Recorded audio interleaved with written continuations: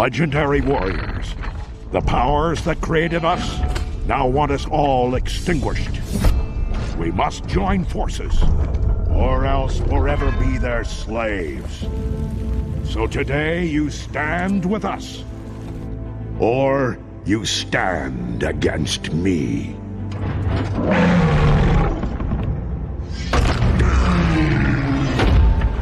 Picture a Marvel hero standing on your desk. Maybe it's Marvel Legends Spider-Man, his hand frozen mid-swing.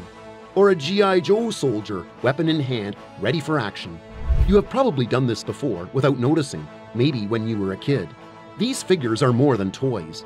They are machines of imagination sculpted from ideas and molded into icons. Behind them stands one of the biggest toy makers in the world, Hasbro. Welcome to Industria, where we uncover the fascinating processes behind the manufacturing of items inside the factories. So grab your snacks and let's go! How are top-tier figures like Marvel Legends Galactus or Transformers Studio series Optimus Prime made?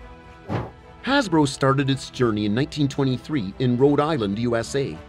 It began with pencils and school supplies. But after World War II, the company changed its dynamics and turned to toys. In 1964, G.I. Joe became the world's first action figure. It wasn't like any other Barbie doll, but it was a soldier with realistic ear and movable limbs. That single creation changed the toy industry forever, and the term action figure was born. By the 1980s, Hasbro expanded into universes beyond imagination, and Transformers, My Little Pony, and Power Rangers became household names. The arrival of Transformers in 1984 robots that could transform into vehicles, redefined toy engineering. Then came the era of licensed icons with Star Wars, the Black Series in 2002, Marvel Legends in 2013, allowing fans to enjoy Power Rangers Lightning Collection in 2019, as well as Ghostbusters Plasma Series and Fortnite Victory Royale Series in 2021, and Indiana Jones Adventure Series in 2023. Today, Hasbro manufactures over 100 million action figures every year, fueling the dreams of collectors and kids around the world. The company's powerhouse lines, Marvel Legends, G.I. Joe, Star Wars, Transformers, and Power Rangers, generate billions in annual revenue and dominate toy shelves from the US to Japan. In fact, Hasbro's total yearly toy sales surpass $5 billion, with Marvel Legends alone bringing in hundreds of millions, thanks to the unstoppable popularity of heroes like Spider-Man, Iron Man, and Wolverine. Every new wave of figures sells out in hours online, proving that plastic heroes never go out of style. Collectors often rank Marvel Legends Galactus and G.I. Joe Classified Snake Eyes among the most sought-after modern Hasbro figures, let us know in the comments which one is your favorite. Why does this matter? Because we are about to follow how a modern figure goes from idea to collector's shelf. Just like any other idea, every Hasbro figure begins with an inspiration.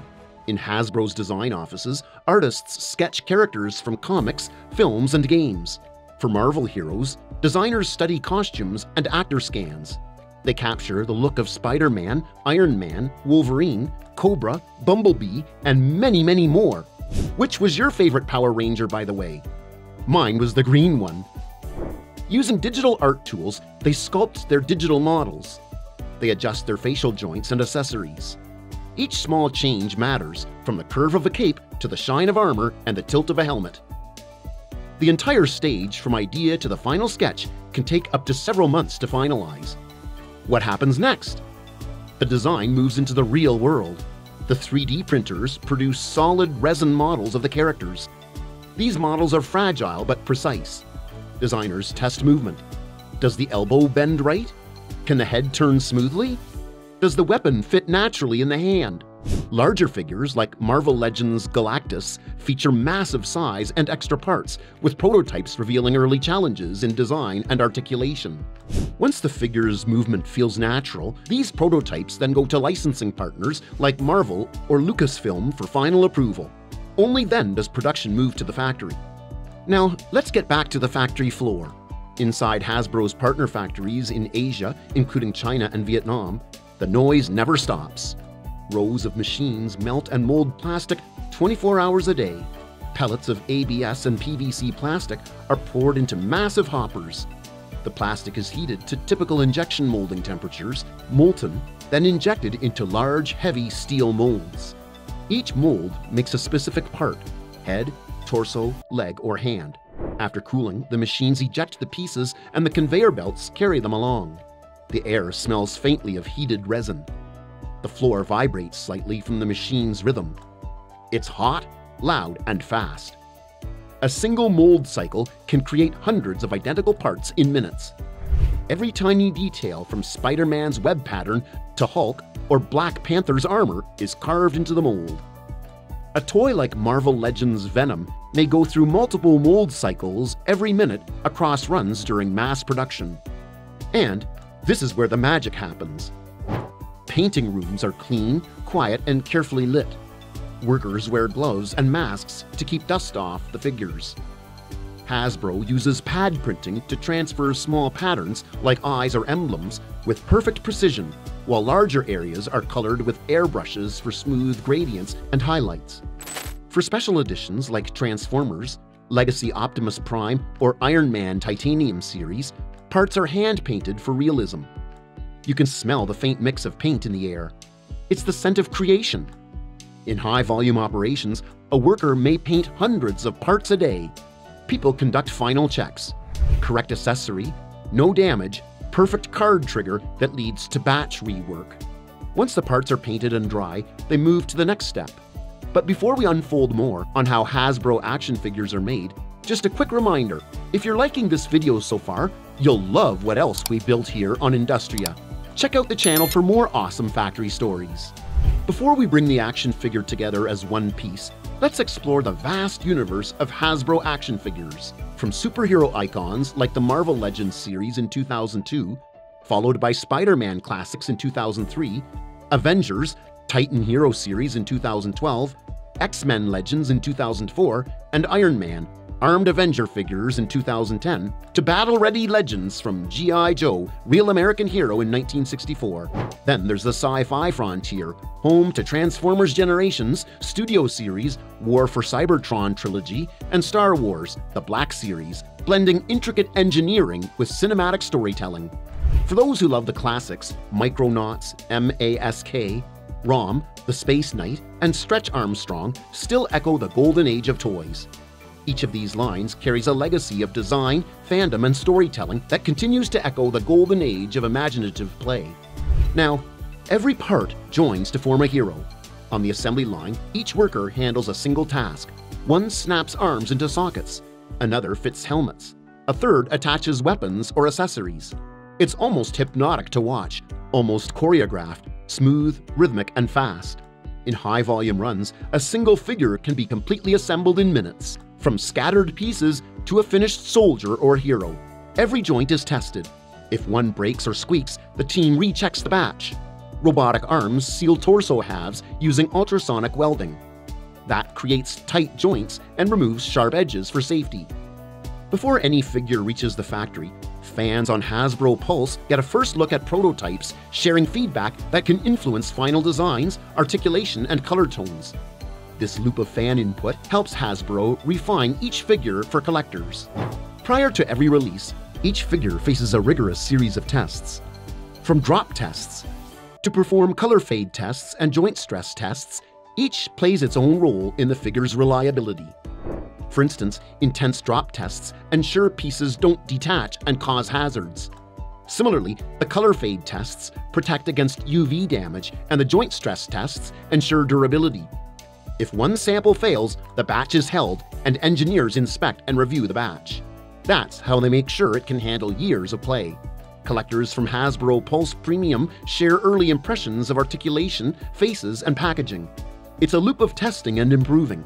It keeps the figures evolving with the people who love them. Now that the figures are assembled, it's time to roll these action figures into boxes. No hero emerges without its box. Packaging gives it a story and shelf presence. Hasbro uses comic art and bold color for Marvel Legends boxes. For Star Wars, the Black Series, it comes in matte black with character portraits. And the famous Transformers boxes show both robot and vehicle modes side by side. Machines fold and glue boxes while workers place figures into clear trays. Designers often say packaging is the final handshake between the toy and its buyer. Hasbro has reduced plastic waste since 2022. Boxes now use recyclable cardboard and plant-based inks. Even the twist ties are paper instead of plastic. Sustainability is now part of the premium figure experience. Once sealed, these action figures are ready to be shipped. From the packaging zone, quick lifts load master cartons onto pallets. Containers are loaded into shipping vessels headed toward ports in the US, Japan, Brazil, and beyond. Thousands of figures travel across oceans to reach homes in over 100 countries. Some figures go to stores like Walmart, Target, or Amazon. Others go straight to collectors through Hasbro Pulse, where exclusive drops often sell out in hours. Meanwhile, collectors flock to Hasbro Pulse, where limited runs and exclusives like the HasLab X-Men Sentinel or G.I. Joe Classified Serpentor sell out in hours. Collectors in Japan, Brazil, Germany, and the US go online for pre-orders of Marvel Legends Galactus and G.I. Joe Classified Snake Eyes. By the time a figure reaches a shelf, it has traveled farther than many people will in a lifetime. Collectors don't just buy these toys, they live with them. For serious fans, the names matter. Marvel Legends Galactus, G.I. Joe Classified Snake Eyes, and Transformers Studio Series Optimus Prime. According to price guide sources, the Marvel Legends HasLab X-Men Sentinel sold in sealed condition for around $750,900 US. Collectors favor premium articulation, screen-accurate faces, and exclusive accessories. Galactus and Snake Eyes consistently appear at the top of collector value lists. If you own one of these figures, it's not just a toy, it is part of a global collector story. What comes next? Hasbro is scanning actors' faces in 3D for ultra-realistic sculpts. They have launched the Hasbro Selfie series. Hasbro has announced personalization initiatives where fans can put their own face onto a figure. They are also exploring bioplastic materials to reduce petroleum use without sacrificing detail. The next wave of Hasbro figures may be made from renewable materials, personalized by you. We never know. So next time you hold a figure, ask, is this the hero of today or tomorrow? When you hold a Hasbro action figure in your hand, maybe it's the Pink Ranger, Storm, or even your first Captain America, you are not just holding plastic and paint. You are holding decades of imagination, design, and storytelling. Each joint, each color stroke, and each sculpted detail carries a piece of someone's childhood, maybe even yours.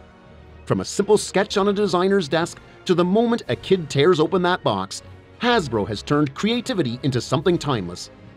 These figures remind us that play never really ends, it just changes form. And somewhere in a small corner of every collector's heart, the magic of Hasbro still lives, ready to be rediscovered one figure at a time. And there you go, how Hasbro action figures are made. Don't forget to like, share, and subscribe to Industria, and if you are interested in finding out how Bandai action figures are actually made, then you must check out the video on the channel.